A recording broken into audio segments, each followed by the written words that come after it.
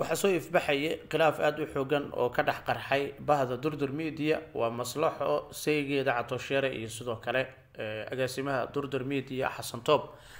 Waxaana maslaxo ay xaqiijisay saacadihii aynu ka soo gudubnay in iyada catoosh ay kala tageen oo gebi ahaanba uu catoosh furay.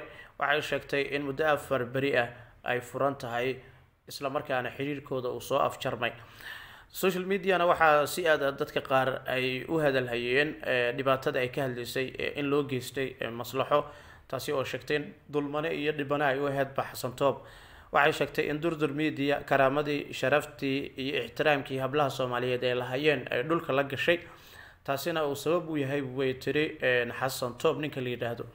Maslaxo oo aada u miraraadeysa islamarkaana ka hadlaysa murugada iyo tiiranyada haysata ayaa kala soo muuqatay video hooyadeed oo iyaduna sharaxaysa dhibta iyo markaasi calooliyowga gabadheeda ay la kulantay intii ay ka tirsaneyd durdur media. Intaa haddii aynu arrintaasi uga gudubno waxaanu isla eegeynaa bal furiinka imika la sheegayo inuu dhex maray catoosh iyo sidoo kale xaaskiisa maslaxo run ahaantii waynu ogeen waxay ahayeen dad lamaano ah xasan toob ayaa shaqaaleysiiyey oo durdur media ay ka wada tirsanayeen hase yeeshee maslaxo iyo sidoo kale seegeeda ayaa tan iyo arooskooda iyo kadib xasan toob ayaa ahaa qof isu sheegaya in uu tunka u ritay in reerkaasi labada qof ee da-yarta ee lamaanaha mas'uuliyadooda uu u soo saarayo isagoo weliba ka shaqaaleysiiya durdur media.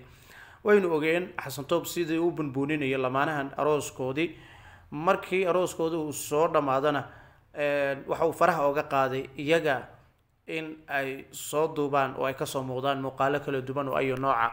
Waxaa ugu dambeeyey marka safarkii nairobi ilaa mombaaso oo magaalo xebeed ku taalla dalka kenya ah oo catoosh iyo sidoo kale xaaskiisa uu ku wehelinaya videogii ay sheegtay in sharafteeda meel looga dhacay islamarkaana dadka qaar ay meel ku dhaca ku tilmaameen dhibaatada uu ku fiirsaday xasan toob ninka la yidhaahdo waxaa kaga sii darneed waxa ay soo saartay xogta ah in lacagta uu siinayay ay ahayd toban kun aan idhaahde boqol dollar oo u dhiganta toban kun lacagta kenya.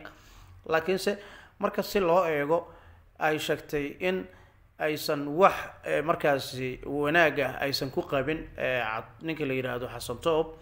Waxay sheegtay in lacagtii ay soo saareyso durdur media inteeda badan in ay qeybsanayeen dad isu sheegaya in ay ka dambeeyeen maskaxda durdur media oo ay ahayeen maskaxda durdur media asaasayaasheeda oo xasan toob ugu jiray shakhsiyaad kale. Waxay sheegtay in lacagaha xayisiinta xitaa durdur media ay soo saarto.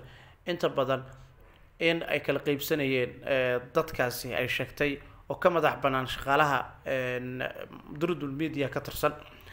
Bal maslaxo waxa ay ka warbixinaysay furiinkeeda run ahaantii aada ayay i xanuujisay waana arrin murugteeda leh calooliyowgeeda leh gabar soomaaliyeed oo mar walba aada u ooyeysa ka hadlaysa dhibta haysata duruufta haysata iyo duruuftii oo looga faa-iideystay oo ay ku soo gudbinayso baraha kala duwan ee bulshada. Waana durdur media waynu ogeen waxa kala qabsaday. Qaar ka mid a raggii horey oga wada tirsanaa balbalaarka ayaa u dambeysay oo iyaduna ka tashatay oo furatayba janaal. Waayadan dambe dadkii waxay noqotay afkii in lagu xamaasho afkii lagu xamaalanaya ee la maalanaya haddee marba adigu haddaad dareemeyso in nafsadaada aada wax soo saar sameyn karto oo adigu aada wax soo saar leedahay wax qabsan karta iskaaga ma jirto sabab qof kale oo aydan heshiineynin dhibaatana ay kaasoo gaarayso in aada la sii shaqeyso oo gacan saara a sii yeelataan ama sii lahaataan.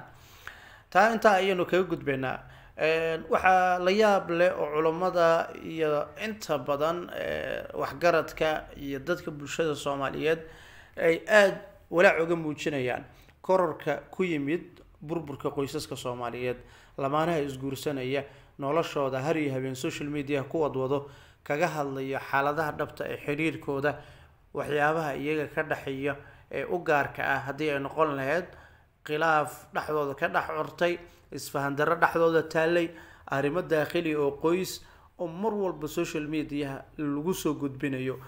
Taasi oo aan oran karo waxa ay xudun u tahay burburka qoysaska soomaaliyeed fadaxeynta gabdhaha soomaaliyeed iyo dullinimada gabdhaha imika lagula kacayo ragga ay u geysanayaan.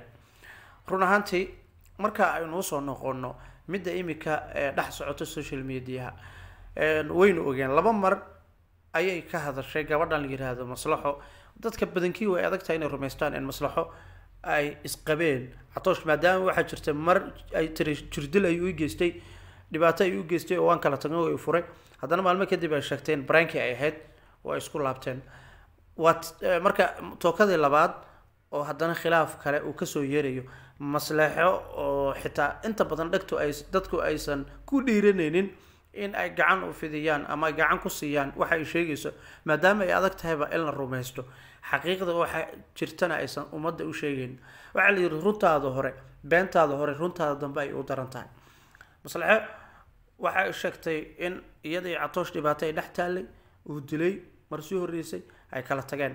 Haddana waxay mar kale noo sheegaysaa in catoosh la saftay. Marka ay isku dhaceen ninka la yidhaahdo xasan mustafe waa ninka la yidhaahdo xasan inuu booskiisa la saftay booskiisana uu ku dhiirageliyey in gabadha uu iska sii daayo uu iska fasaxo sida iyadu imika ay hadalka u dhigayso oo ay leedahay.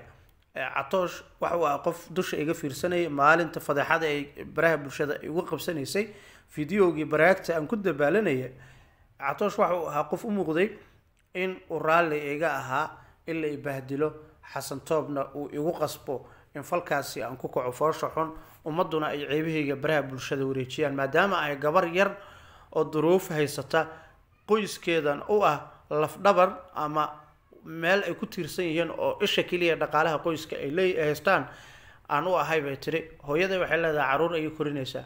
Anugu owlaad ayaa ii joogtaa.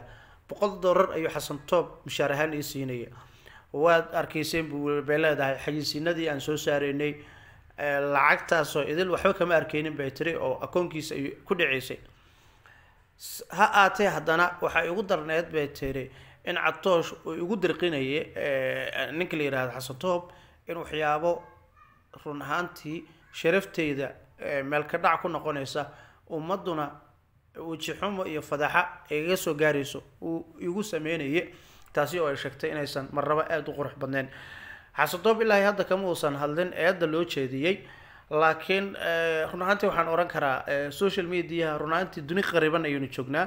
Casrigan cusub ee koob iyo labaatanaad dhibaatadii ay sii badatay. Soomaalidii social media ayay ku soo yaaceen. Waxa kaaga sii daran waxaa qoysaskii soomaaliyeed iyo social mediaha u soo shaqo tegay oo qutulyoon ka raadsanaya. Taasi waxa ay lumisay marka sharaftii qadarintii iyo noloshii brivateka ahayd ee lamaanaha soomaaliyeed oo gebi ahaanba sii dabargo-eysay muddooyinka ugu dambeeyay. Ma jiro waxaa haray maadaama laba qof oo lamaana ah ay camera inta soo hor fariistaan ay doonayaan inay ummadda u sheegaan waxa ka dhexeeyo khilaafkooda halka uu marayo haddii ay jirto furiin waxyaabo aan lagu kaftamin oo gebi ahaanba sal iyo raatoona aynu u lahayn dhaqankeenna. Tin ilaa cirib aynu waxbo markaasi inaga wax ina soo galo inaga dhexeeya uunan jirin. Ay muddooyinka ugu dambeeyay aada social media uga socotay. Ummadda alla ha samata bixi ayaan leenahay oo waan u duceyneynaa dadka samaha jecelna wanaagga in ay ka shaqeeyaan ayaan ku boorinaynaa. Waad mahadsantihin